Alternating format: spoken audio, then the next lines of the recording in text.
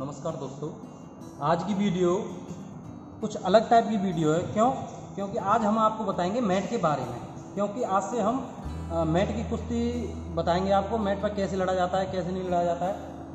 तो आज मैट के बारे में बताएँगे लंबाई चौड़ाई बताएँगे कैसे कहाँ लड़ते हैं कैसे लड़ते हैं क्या पहनना चाहिए क्या करना चाहिए इसके बारे में आपको अ, आज की वीडियो इस बारे में है।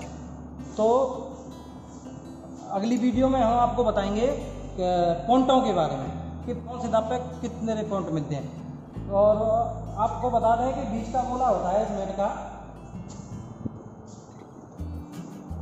ये बीच का गोला होता है, बीच का।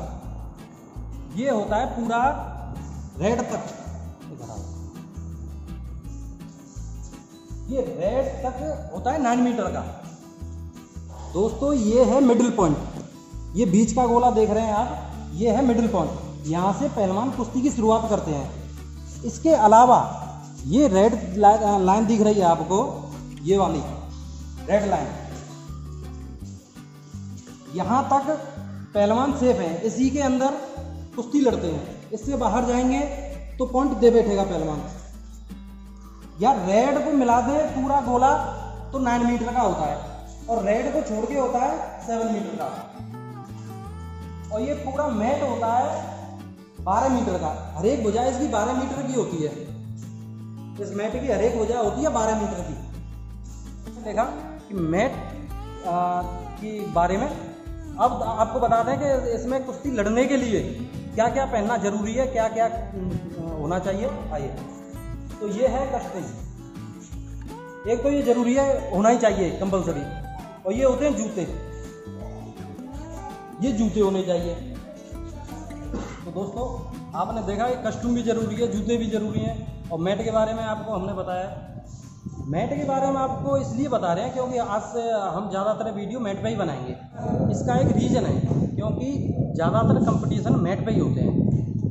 कोई भी कंपटीशन हो यूनिवर्सिटी लेवल का हो, कैसा भी, मिट्टी में नहीं होते हैं। तो आपको आज से हम मिट्टी के दाव बहुत कम बताएँगे और आपको हम मैट पे ही बताएँगे ज़्यादातर दाव और आपको, आप तो जानते ही होंगे कि इसमें वेटिंग की कुश्ती होती है।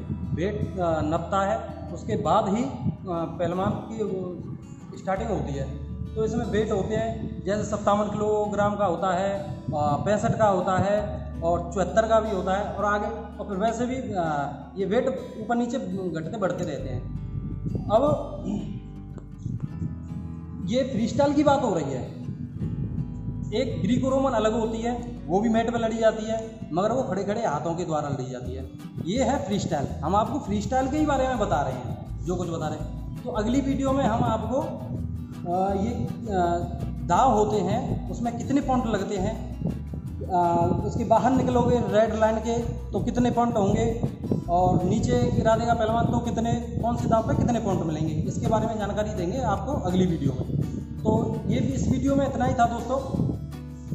अगर आपने चैनल को सब्सक्राइब नहीं किया है हमारे को तो सब्सक्राइब कीजिएगा प्लीज़ और लाइक भी कीजिएगा।